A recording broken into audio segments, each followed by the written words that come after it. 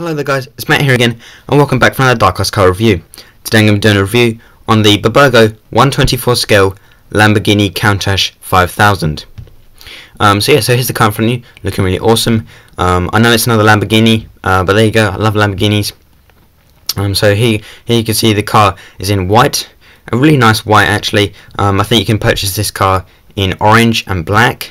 Um, they didn't look that good, so I just got, I just went for the um, nice white because they look really cool. Um, so yeah, so I did purchase this car from modelsupermarket.com I think. Um, yeah, modelsupermarket.com um, for about five pounds, which is actually a really good price. Um, yeah, but eleven pounds including the shipping, which is still pretty good. Um, but yeah, so there is a link down below in the description if you want to purchase this car. Um, so yeah, so this is actually a really awesome car. Probably my first classic Lamborghini like old Lamborghini because all Lamborghinis have like a modern and out now. Um, but this is like a classic car, classic Lamborghini actually. I think it came out in 1988. I think uh, I'm not too sure about that, but I think it's around that time. So this is actually a really cool car. Really love this car. Um, so yeah, so let's do the review. So here's the front of the car, looking really nice. Really nice front. I do really like this car actually. Looks very nice. So here you can see this nice plastic window, which is made of a nice hard plastic there and you, you can't really see into the car there. Um, no you can't see in the car at all there. Quite hard. Probably gets all black inside. That's why. Um, so here's the front. You got these nice lights. Pretty nice nice plastic there.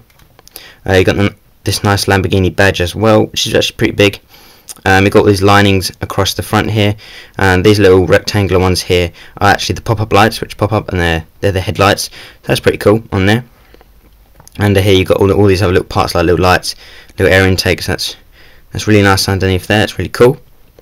And on this little bit here this little metal plate looks like it should be a license plate there or number plate. Looks like it should be there but there's nothing there. So it's just a blank space there. So it looks really cool. And on the side you can see that does look really awesome. Um, you've got these nice little wheels really classic like 80s sort of wheels uh, a bit plain but that's what they're like then and they're really cool. And they do turn left and right as well. Now these wheels do feel do feel kind of loose or like flimsy sort of thing because when you turn them they feel like they're going to break and make like a creaking noise. So that's kind of a problem but they they're, they're fine though. They're nice wheels as well. And the, the car does roll nice and easily as well. So that's really cool. Um, so yeah so here's the door. Really nice cool looking door um, now I really like these doors because when I first opened out the packaging I wanted to open the doors and I thought that the doors actually come outwards like normal cars. Um, but I tried I tried to open it, it wouldn't open uh, but then I realised they actually open up like that and I thought that is really cool. Because um, I actually didn't know funny enough that the doors open on the Countach like this. I thought they're just normal doors but they open like that. So that's really cool really like that. Um, and the doors do come up back that far. That's really cool. Um, so let's take a look inside can't see inside it because it is all black. Hang on no you can't see inside. Sorry about that but it's all black. Um, there's not much detail in the car actually. Um, it's just painted black so you can see just just about see the seats there. You can see the other bits in there quite nicely. Um, and the door does shut nice and easily as well that's pretty cool. Got a nice little window there as well. A uh, little air intake thing up the top here. We've got the back wheels obviously the same um, nice little air intake there as well. Pretty nice side actually, really nicely done. And onto the back of the car, looks very nice. Really nicely done. Uh, you got these big badges on the back here, the Lamborghini Bull and the Countach um, badge there. Now, the only bad thing about this, the back of the car, that these badges actually look big, too big, actually, because on the car I don't think they'll be this big. Uh, maybe they are, maybe I've got it wrong, uh, but I don't think they'll be this big. Um, but it still looks really nice anyway, these badges, nice little silver painted badges. And you've got these plastic lights, pretty basic plastic lights underneath there. Uh, another bit I don't really like about the back of the car, that you can see this silver number plate, silver piece of plastic, um, which doesn't very look doesn't look very cool, um, doesn't look very that good, so looks a bit cheapy. And this these exhausts underneath these exhausts underneath here um, do look a bit cheapy and plasticky as well. Because on some on my other cars they they are made of like a metal but now these are just made of black plastic so that's kind of strange that they're made like that. Um, but yeah I suppose that's the only bad bit but underneath is um, all the rest is like really nicely done. So that's pretty cool. And also you got the spoiler as well which is really nicely done. Nicely done. And on the top as well see that? And then you got the engine cover as well.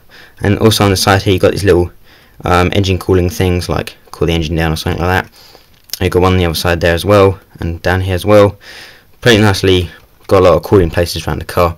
And the engine cover does open pretty well actually and comes up that far which is pretty cool. And take a look at the engine inside. Pretty nicely detailed engine in actually pretty nicely detailed actually. You can see that is really nicely detailed under there. And the engine cover does shut nicely actually. I really like the engine, the engine cover because it like blends in with the design and like falls into place sort of thing.